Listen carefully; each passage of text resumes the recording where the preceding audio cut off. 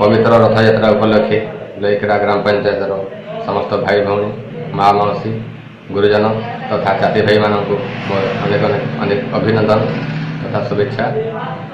ପ୍ରଭୁ ଶ୍ରୀ ଜଗନ୍ନାଥ ସମସ୍ତଙ୍କୁ କୁଶଳ ମଙ୍ଗଳ ରଖିଥାନ୍ତୁ।